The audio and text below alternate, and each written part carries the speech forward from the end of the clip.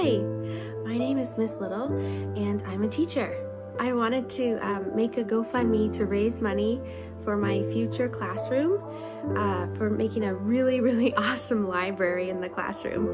I'm currently in a master's and credential program at Pepperdine, and I've been a preschool teacher um, just before that for about four years.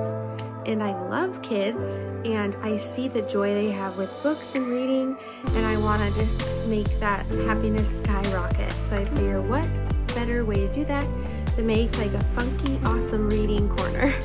So my plan is to um, buy a fiberglass life-size cow, and I'd like to cut out its stomach and make it into a bookshelf. I think this would be so awesome. So I've had this idea for a while.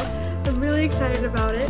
And I um, emailed the CEO of Chick-fil-A and asked if I could please have or buy the cows from them that they used for their advertising campaign. And they were so sweet. They emailed me back, which I wasn't expecting such a large company to email back. And they said, unfortunately, they archived the cows, so they're not for sale.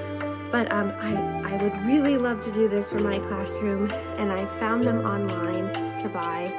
So I'm just saving up, and I would appreciate anything you could do to please help. Um, I think reading is a really important part of learning and growing and feeling confident as a learner.